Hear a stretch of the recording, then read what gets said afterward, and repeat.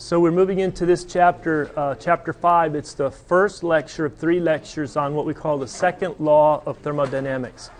Um, this chapter is a lot different than the other chapters in most textbooks, most thermodynamics textbooks, but even most like statics, dynamics textbooks. One, it's very conceptual. So the first time you look at it read it, it's like, what? Where's the plug and chug? I need the plug and chug. It's very conceptual. Plug and chug comes in chapter 6. Chapter 6 is uh, the entropy and using entropy to describe or construct a balance to quantify the second law of thermodynamics. You don't have to use entropy for the second law of thermodynamics. It's just convenient and traditional that we use a new property called entropy. But before we get to entropy, we've really got to talk about the second law of thermodynamics. It is impossible for a process or a system to violate the first law of thermodynamics. Do you agree with that? Is that true or is that false? It is impossible for a system or a process to violate the first law of thermodynamics. What do you think? It's true. It's true. All right, but even if a system obeys the first law of thermodynamics, it still may not be possible. It may be impossible. You may dream it up on paper and then check it. Oh, does it violate the first law of thermodynamics? Hey, if you dreamt it up on paper, but it violates the first law of thermodynamics, don't try and build it. It won't work. But even if you dream it up on paper and it, you check it and it does not violate the first law of thermodynamics, it still could not be realizable. It could still be impossible because there's another law. It's a second law of thermodynamics. What were the statements as a reminder about the first law? Well, energy is conserved. That's one way of saying it. Another way of saying it, energy can neither be created nor destroyed. That's good. There's another way of saying it. All these are engineering thermodynamics textbooks. Energy can neither be created nor destroyed, but only altered in form. We can convert energy between forms, but we can't create it or destroy it. And then here's a longer definition or description of the first law of thermodynamics, but I think you get the gist. You get the gist of that. Here's an introduction to the second law of thermodynamics. I'm going to pose a problem that we can solve and then we'll talk about is this possible or not possible? And your experience will help guide you on this. Think about a block of material, call it block A. And then you also have a block of material, block B. And material A starts off with initial temperature of A of 300 Kelvin, and the initial temperature of B is 500 Kelvin. And I could put the mass and specific heat, but let me do the product of the mass and the specific heat because both of these are just solid chunks of material. And let's say that's 1 kilojoule per Kelvin, and the mass specific heat for block B, that's for block A, that's for block B, is 2 kilojoules per Kelvin. Either you think block B has a larger mass or a larger specific heat. But the product, the MC for block B is twice that for block A. All right. We put them in the thermal con- contact. First law. It starts TA uh, at the temperature of A is 300, temperature B at 500. After some time, I'm not going to let it go to complete thermal equilibrium, but I put them into thermal contact. What do you think the temperature of 1 is going to do?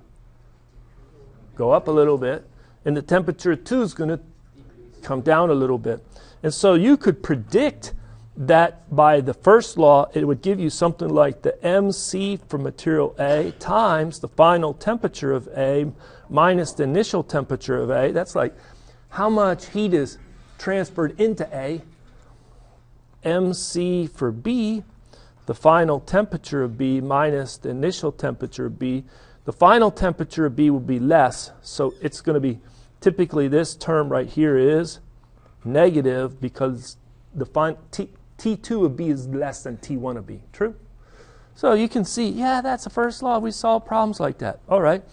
Let's take a look at uh, this case where I say at the end of the process, the T2 of B is 400 Kelvin, and T2, oops, T2 of A is 400, and T2 of B is 450 Kelvin.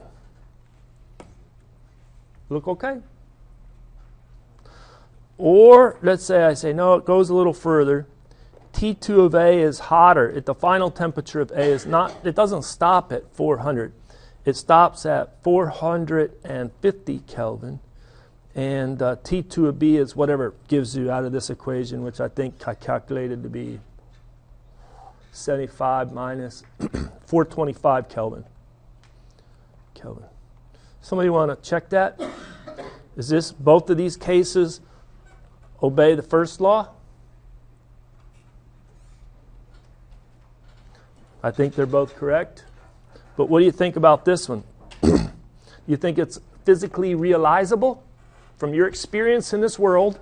Is this physically realizable or not? This is what we call possible. What about this one?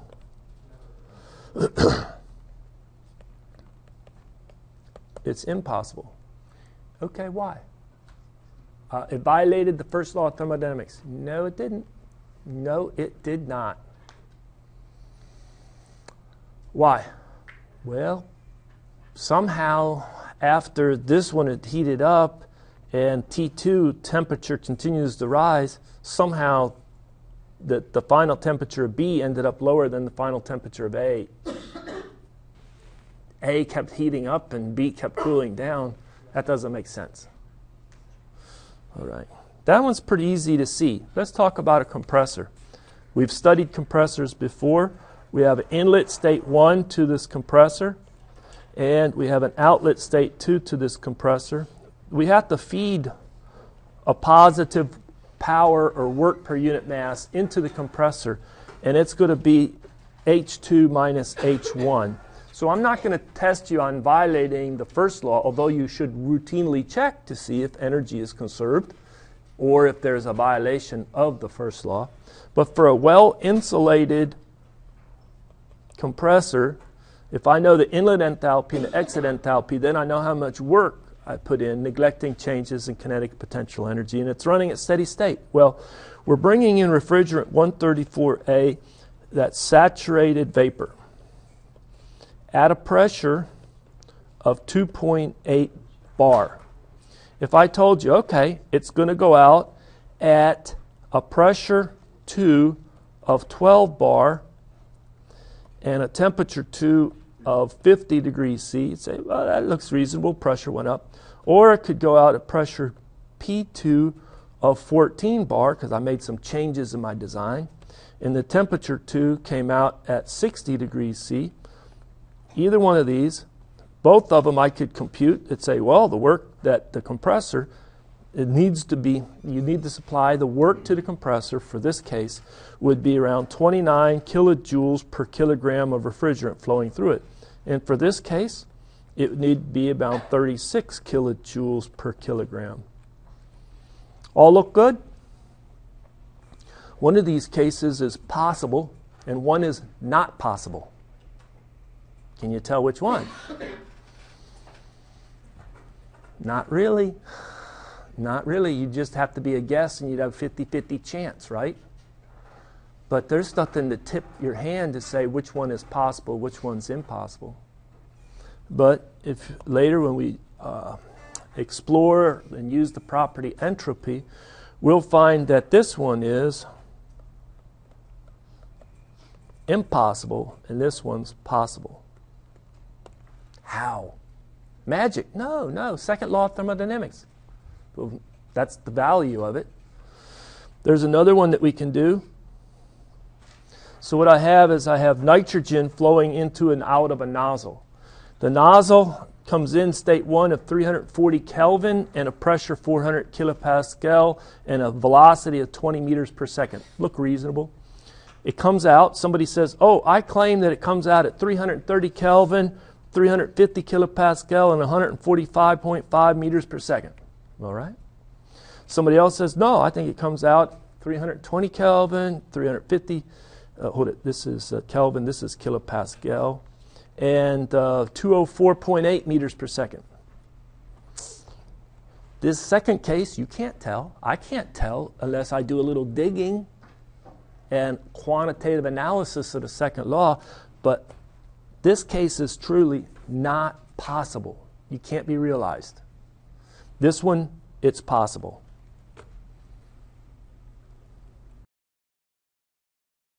You can have the steam turbine where the inlet is fixed for two cases, and you're interested in the outlet Okay, so for both cases, we'll say that pressure inlet 8,000 kilopascal, high pressure. Temperature inlet 540 degrees C. Then we'll take look at two cases for the outlet. The final pressure is 1,000 kilopascal, and it comes out saturated vapor at 1,000 kilo. Or the final pressure is 200 kilopascal, lower, and it comes out saturated vapor.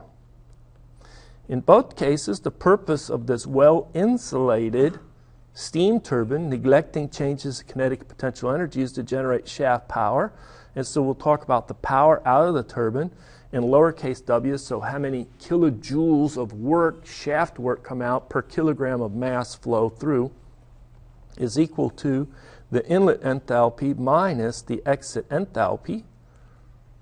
And in both cases, I can say, oh, the work of this is 720.4 kilojoules per kilogram, and the work uh, per the turbine for the lower pressure, 200 kilopascal, 791 kilojoules per kilogram. Both obey the first law energy is conserved. One I picked is possible, the other I picked is impossible. Can you tell? Could you guess? Who wants to be really brave and guess which one they suspect is impossible? This one, right here, or this one? The lower one? The one that gets more work out per steam? Yeah, I know. And this is one of those nasty questions faculty should be not allowed to ask. They set you up, right? It's like every indication, hey, you're getting more work out. That's probably harder to do from the steam. Ah, probably that's the impossible case. But the second law isn't always so obvious. And it comes in that this one is the impossible, and this one is possible. You can get more work out if you go to a lot lower pressure. Yes.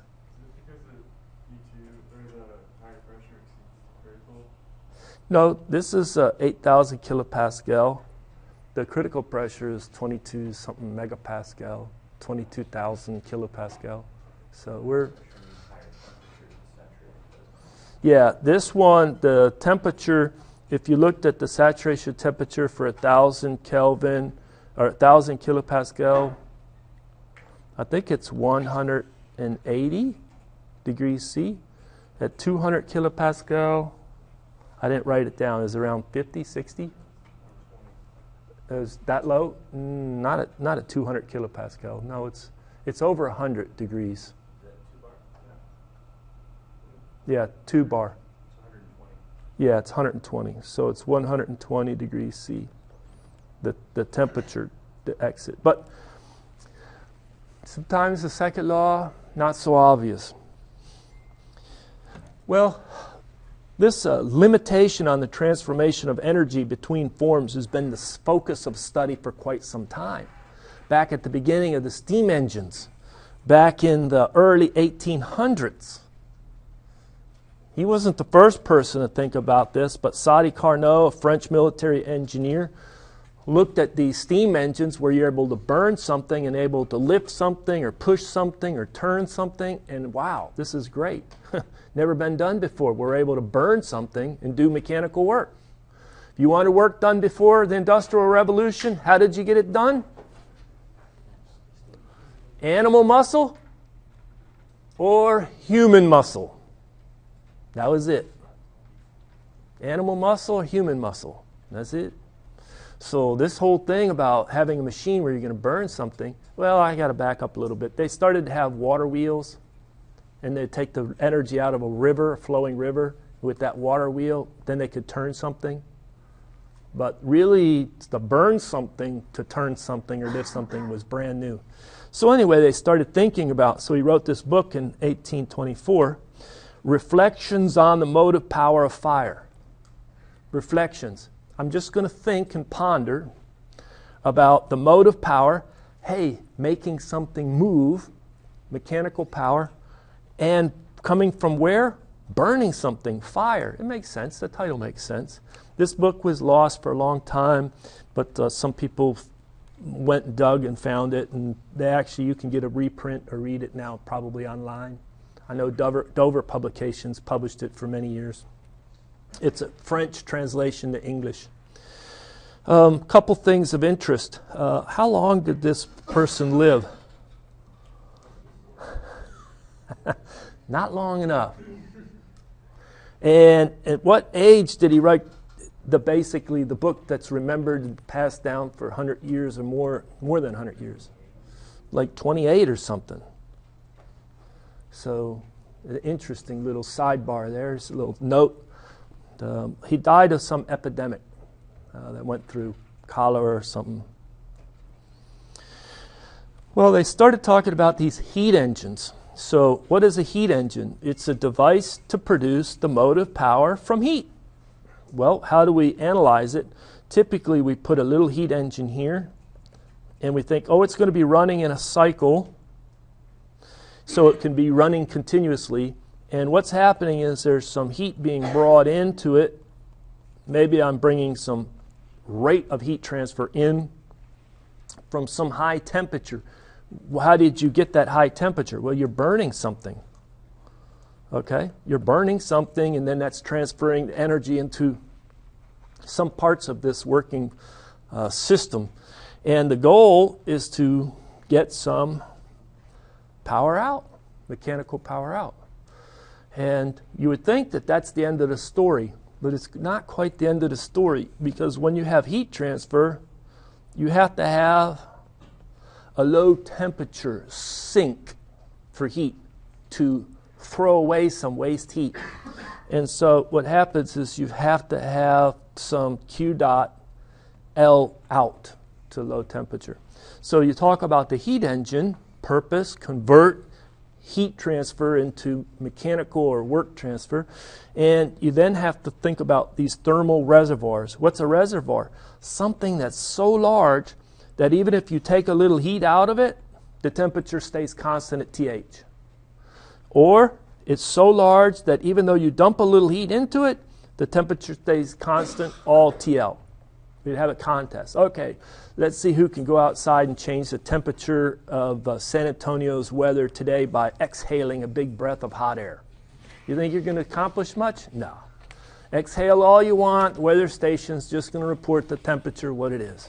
Now it could change from winter to summer, and it does, but basically, it's not controlled by my little exhaling. Did I pump heat into the atmosphere outside when I exhaled? Sure. Energy is conserved, but it didn't change the temperature of a big thermal reservoir. Clausius, a German physicist engineer living in these years, published, he was thinking about the same thing in 1851, a book, and he did many papers, many, he's, he's also one of the great founders of uh, thermodynamics, just like uh, uh, Carnot. You know, the, the mechanical theory of heat. See what they're trying to do? Burn something, heat transfer to turn something, lift something, push something. Okay? Mechanical theory of heat. Well, he came out with what today we claim is a statement of the second law. So, hey, you want the second law of thermodynamics? Here it is. This is one of those unappealing things to students. Taught this class enough. They're in chapter 5. I want plug and chug. I want plug and chug. Well, this is not really plug and chug, but here it is. Clausius' statement of the second law of thermodynamics says it is impossible for any system to operate in such a way that the sole result would be an energy transfer by heat from a colder to a hotter body. Hmm, so I have a hot body and I have a cold body and I have a system that's not going to be getting something from the exterior, and that system, the only thing it's going to do is it's going to transfer heat from the low temperature to the high temperature. It's going to, that's impossible. That's Clausius' statement. Here's another statement of it from another engineering thermodynamics textbook. Heat will not flow from a cold object to a hot object without the expenditure of external work. Now, if somebody puts in external work into a system, guess what?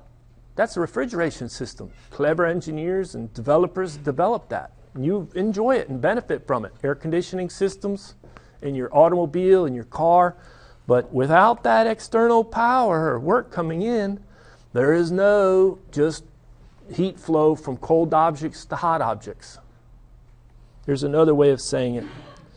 It's impossible for a self acting machine unaided by any external agency to convey heat from one body to another at a higher temperature.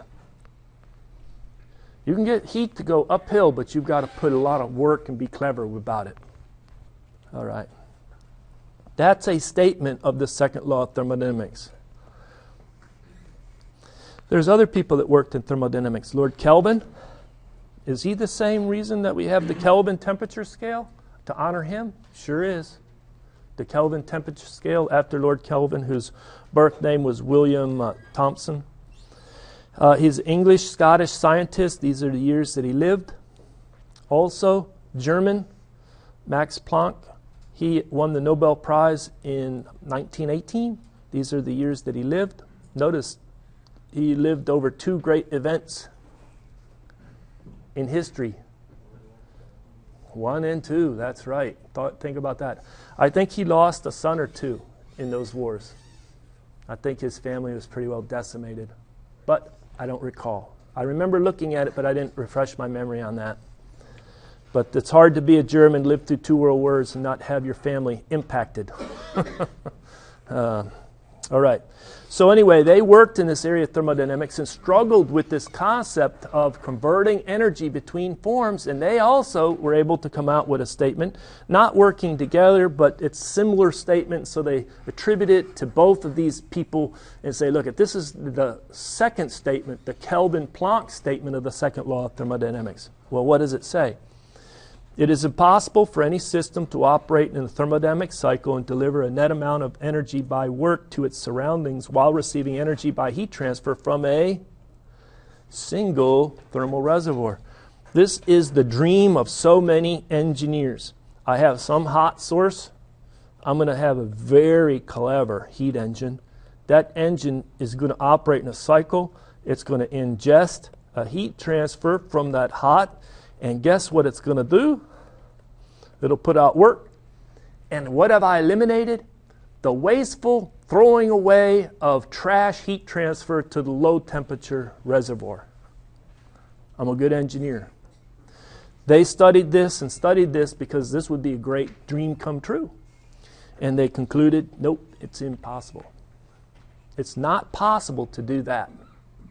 Here's another statement. Keenan in 1941 said it's impossible to construct an engine which will work in a complete cycle, meaning for a little bit, if it's just a process, it can do it, but it, to work in a cycle and produce no effect except to raise a weight. I love this terminology. Raise a weight, that's a clever way of saying doing work, external work. You can hook this up to a pulley like that and then raise your weight in a gravitational field. You'll find the engineering thermodynamic literature full of that terminology. And exchange heat with a single reservoir. Here's another one, 53 short. It's impossible by means of inanimate material agency to derive mechanical effect from any portion of matter by cooling it below the temperature of surrounding objects. You could say the same thing in so confusing a way. But no, this guy Short was a great uh, professor at UT Austin in the 40s and 50s. Uh, in, in the area of mechanical engineering thermodynamics. So that's why one of the reasons I have his book and I pull things out of it every now and then. Well, what we're going to do is we're going to talk about reversible processes, irreversible processes, sources of irreversibilities, and then we'll get to trying to quantify the second law. So, what's a reversible process? Well, it consists of a bunch of equilibrium states such that you could stop it right in the middle of the process and it would be okay. It would stay right there. And you can make it go forward or go backwards by little infinitesimal urgings. It'll, it'll go back to where it started from, or it can go proceed to the end of a process. A process is also, think about it this way, is reversible if the system and all of its elements in the environment around the surroundings can be completely restored to the respective initial states after the process has occurred. So the test is I think about a diagram, it's easy to think about a process going from initial state 1 to final state 2, maybe on a PV diagram. And then I ask the question Is the process 1 to 2 reversible? Well, the way you answer the question is you ask another question. You say, Is the reverse process 2 to 1 possible? If it's possible, then the original process was reversible. If the backward process is not possible, hence it's impossible, then the forward process, the original process, was irreversible. Irreversible processes. We have a lot of them out there in, in, uh, uh, in practice. Well, really, no processes are completely reversible. Everything has a little friction. Everything, if there's a heat transfer, has a little temperature difference to drive that heat transfer. And if there's an expansion like that, an unrestrained expansion, all three of these are sources of irreversibilities. There's more if you have a chemical mixing, if I just have two containers, pure substance A, pure substance B, I open a, a valve in between them, there's mixing, very irreversible. Okay? Uh, there's other processes, but these are the big ones. If you said, what causes irreversibilities? Number one on the list, friction. Number two on the list, heat transfer through a finite temperature difference. The larger the temperature difference, a more irreversible the heat transfer for the same amount of heat. And then this expansion, this unrestrained expansion to a lower pressure, irreversible. I hesitate to give you some of these definitions, but let me just give them to you. Please read the textbook. I know it takes a couple times to go over things to put it into your brain, but there's a difference between where the irreversibility occurs. It could be internal to the system or external. Sometimes it helps us to say, oh, the source of the irreversibility is external to the system. So if you have internal irreversibilities, they occur within the system. If they're external, they occur outside in the surroundings, but often in the immediate surroundings. And often it's because of heat transfer with a finite temperature difference, something like that. Okay. Carnot corollaries. Well, we have a couple corollaries. Let's go through them. We have the thermal efficiency of an irreversible power cycle is always less than the thermal efficiency of a reversible power cycle when they operate between the same two thermal reservoirs. Think about a big high temperature reservoir in a big low temperature reservoir, TL and TH. Okay? So I take a system that's operating in a cycle, and the purpose is it's a power cycle, so it wants to produce work. And I'm going to intake some Q sub H and reject some Q sub L. What's the thermal efficiency by definition out of what, chapter 2 for that? Remember that? Thermal efficiency for our power cycle? What we want, what we want, work divided by what we have to supply to make it work is QH. We have to throw away QL. We'd like to minimize QL, but hey, We have to throw it away.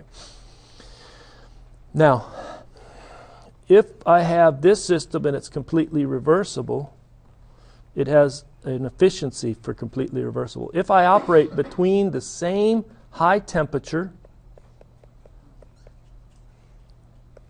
and the same low temperature to the cycle, but this one's an irreversible power cycle, guess what? The efficiency of the irreversible, oh, it's still defined as W over QH. It always has that definition, but you'll have a lower W than you did with the reversible system and a higher QL compared to the reversible system. Hence, the thermal efficiency of the reversible is greater than the thermal efficiency of the irreversible. That's this Carnot corollary. Anytime you start introducing irreversibilities, the efficiency of a power cycle goes down. You can't introduce some irreversibilities and expect it to go up, even if you're a super clever person. Next Carnot corollary all the reversible power cycles operating between the same two thermal reservoirs have the same thermal efficiency. So, somebody, I know I didn't leave enough room here, but I come in with a new design for a reversible heat engine, and it intakes QC, QH, and it rejects QL. Guess what? If it's completely reversible and the other one's completely reversible, they have a different design inside, a different design inside, but they're going to have the same efficiency for design 1 will have the same thermal efficiency reversible design 2 as long as you have the same two thermal reservoirs. You start changing the high temperature or low temperature, well, it's adjusted. You can do the same thing for refrigeration and heat pump cycles. Do you recall? Let's say uh, this is my TH here, and this is my TL here and I put a system in here. And the goal is not to produce power, but to consume power in order to draw heat from the low temperature and dump it to the high temperature. You remember that for the heat pump as well as refrigeration? What's the coefficient of performance for refrigeration cycle? In general, it's defined as QL divided by the work supplied. What is the coefficient of performance for the heat pump? Recall QH divided by W supplied. True? Well, it's the same type of thing as you say the coefficient of performance, whether it's refrigeration or heat pump, is going to be greater if it's reversible than the coefficient of performance for refrigeration or heat pump if it's irreversible. And if you have two systems that are completely reversible, then guess what? They have the same COPs.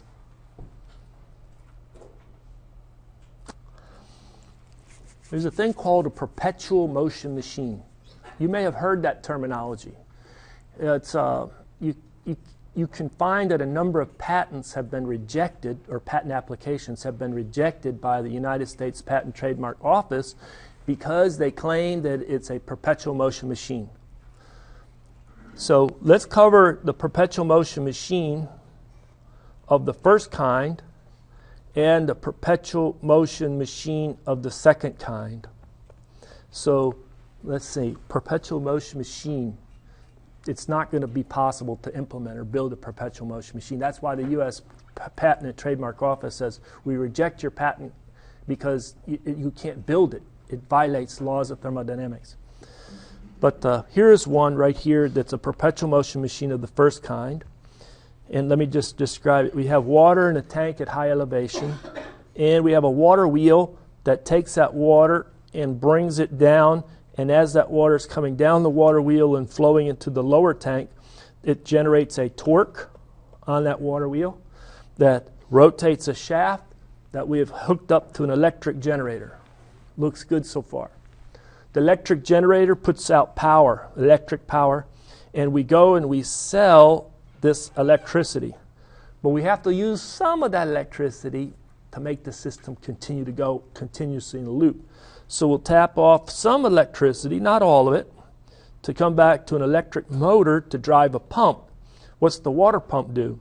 Well, it takes the water out of the lower tank and pumps it up to the higher tank. That's my design. And I'd like you to invest $50,000 each in it. And I'll, I'll take your checks now because we'll be rich. But why is this a perpetual motion machine of the first kind? What laws of thermodynamics, either the first or the second, does it break?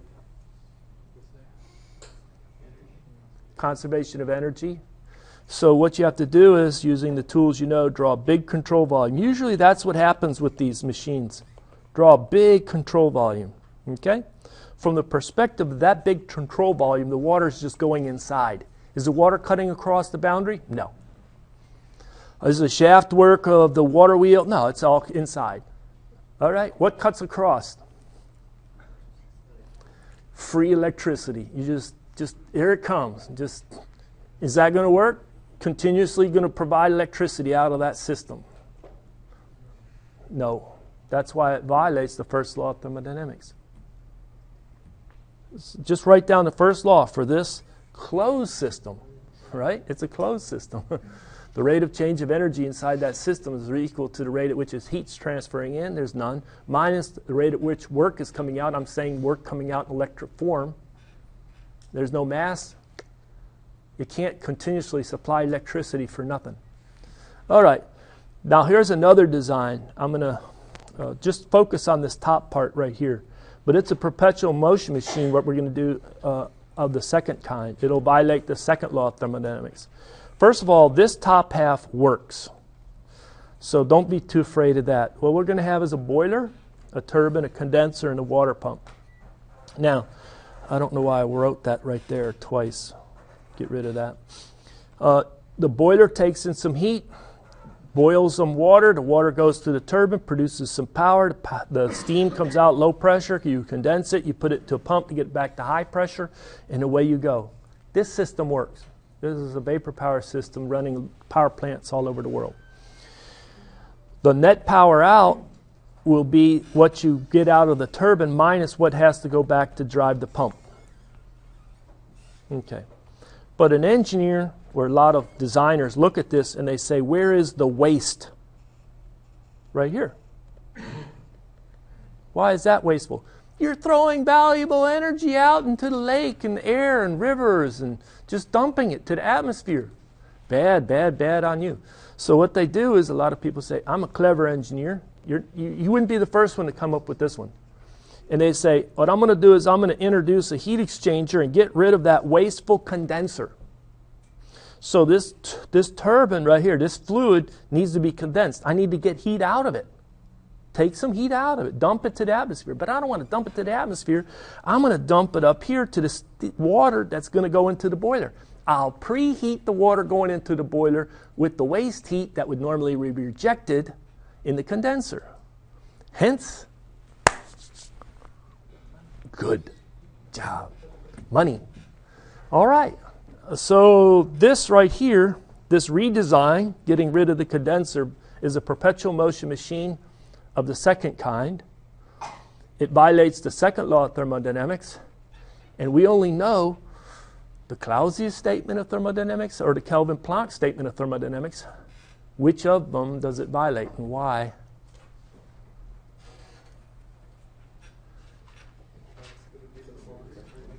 The Kelvin Planck.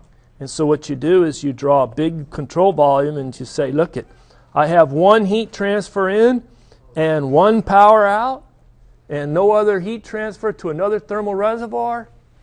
Impossible. Save your money. Don't invest. It won't work. All right. So, perpetual motion machine of first and second kind. Uh, John Keely a carpenter, a mechanic in the Philadelphia area, lived in these, these years, 1837 to 1898.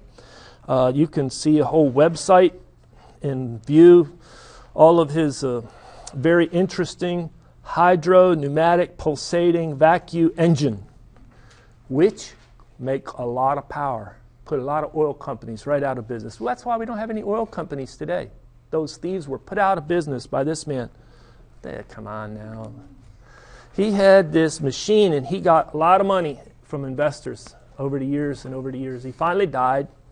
I think somebody, as I understand the story, uh, bought his house, tore it up, and they found a big, huge pressure vessel stored somewhere in the basement, hidden away, that he would initially pull a big vacuum on and then use that as the thing to make it work two floors above when he wanted to demo it to the investors. You can read more about it. But uh, what you want to do is you want to be armed uh, in thermodynamics, knowing that energy is very expensive. People will pay a lot of money for a gallon of gas. You're, you're just living it up because it's only, what, two something gallon? When it was four, did you buy about the same amount? Most people bought about the same amount of gas when it was four a gallon. When it goes to eight, you're going to buy the same amount? Some people will. When it goes to $12 a gallon, there's a huge cash flow in, in energy. It's huge. It's huge. So, anyway, uh, when there's a huge cash flow, there's also a huge incentive to uh, make claims. Well, to improve the system, efficiency, that's good, but also to maybe abuse the system by getting people to invest in your scheme. Oh, I went out to web YouTube and I wanted to run my car on water. What do you think? You think anybody out there on YouTube's got the scheme how to run your car on water? They're super rich. When I first, when the internet first came out, I'd show that. I'd even go the video clips somebody in Philippines, but he's been since murdered by the oil company. Sorry about that. but he would take your $10,000 investments and run your car on water. So, has anybody ever seen any of these? Do you know as soon as you graduate, you have a bachelor's degree in mechanical engineering, you're going to have some friends at a cocktail party. Oh, what you, oh, you took thermodynamics. What are you learning? Hey, I have some questions. You ever heard of the second law of thermodynamics? You'll get pinned. This. Tell, it'll happen. They want to know. There's a lot of friends of mine. They have a lot of questions. Why can't I just put oil in my car and run it? I mean, water in my car and run it? This guy, he's in Florida, he's doing it. This guy in the Philippines is doing it. Why, why do you guys not at the university do something important? So, anyway, uh, these are the types of claims that hopefully we become equipped with because this whole chapter is it's possible, it's impossible. It satisfies or obeys the first law of thermodynamics, it satisfies or obeys the second law of thermodynamics or it doesn't. See? All right. Well, this is a long derivation. Let me see if I can jump to a cleaner slide on this.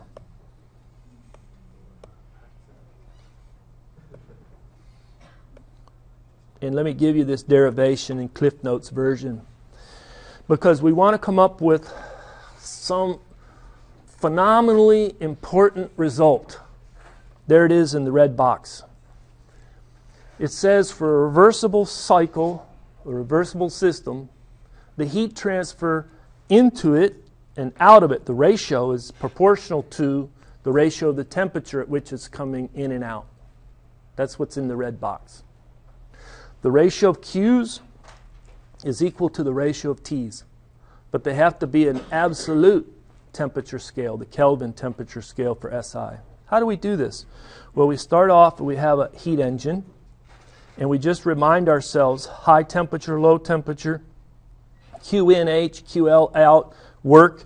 We know that thermal efficiency eta is work over QH, and then we can replace the work by QH minus QL from the first law, conservation of energy. So we get that the thermal efficiency is simply 1 minus QL over QH, just a little algebra. And then you think, what is the thermal efficiency of a heat engine depend on then? There's only two things it really depends on.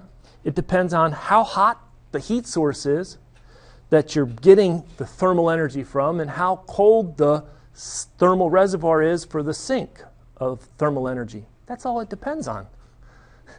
So this may be almost like, what? But think about it. The thermal efficiency is only a generic function of TH and TL. That's it.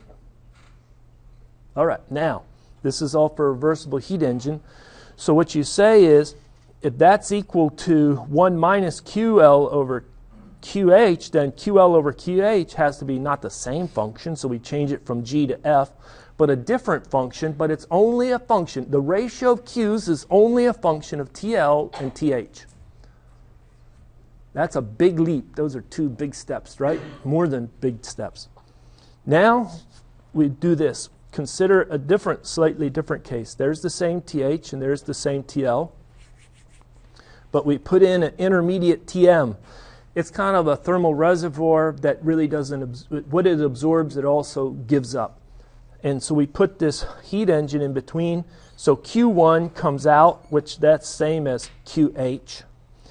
And to this heat engine, and then some energy is produced by that heat engine. So less Q2 goes out and goes into TM, but Q2 goes also into the second heat engine, which produces some work and then finally, Q3 is the QL that goes out. Hopefully that makes sense. All three of these now, heat engines, are reversible. And so you could say, well, we already deduced that Q2 over Q1 is a function of the two temperatures, Tm and Th. Ym, the intermediate temperature, the middle temperature, Th, the high temperature. And then the same thought, you say the ratio of Q's, Q3 to Q2, is only a function of TL and TM. I know we lost you by there, but hey, it's, it's just straightforward logic. And then you just think about algebra. Forget about all this other stuff. Is Q3 over Q1 equal to Q2 over Q1 times Q3 over Q2? Because the Q2s cancel? And then we just said, hey, you know what this is? Q2 over Q1 that's a function of Tm and Th. And you know what Q3 over Q2 is? That's a function of TL over Tm. Not TL over Tm, but TL and Tm. And you know what Q3 over Q1 is?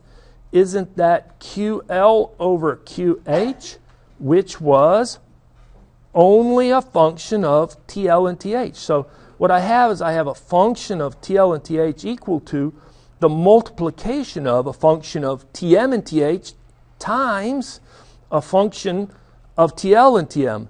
How is that going to work? The only way that works is if the TMs cancel. The TMs must cancel.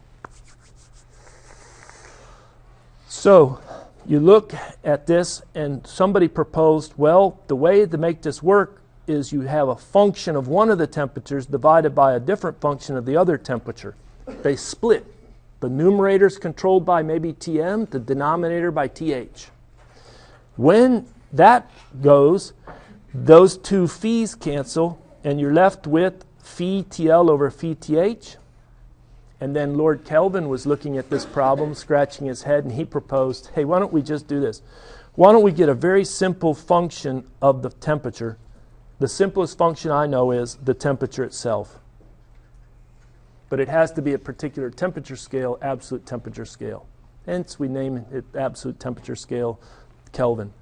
The bottom line is the ratio of Q's for a reversible heat engine can be replaced by the ratio of absolute temperatures. Last, last slide, but I do have two minutes. So, what did we say for the heat engine efficiency, 1 minus QL over QH. If it's reversible, reversible, we'll t- talk about the Carnot efficiency, the Carnot heat engine, the best heat engine. And that can be replaced by 1 minus TL over TH. And this is probably one of the simplest and most powerful equations in our thermodynamics textbook. What you can do is plot the thermal efficiency. Maybe start at 300 Kelvin for the cold or low temperature. So, as the high temperature goes up, the thermal efficiency naturally goes up. And this explains a lot of reasons where engineers have been pushing and pushing, especially early in Industrial Revolution, increase the temperature of the working fluid in the system. Get the steam pressure and temperature way up. It's great for efficiency. We're still on that, and you'll see that in power cycles where they're still doing it. But this equation plotted shows you that general trend. This equation, I can almost guarantee you, will be on your FE exam and the EIT exam. You just have to know what it is and know how to use it. It's a very quick one or two minute question. Answer it and away you go. We'll explore more of it later. Thank you very much for your attention. Done.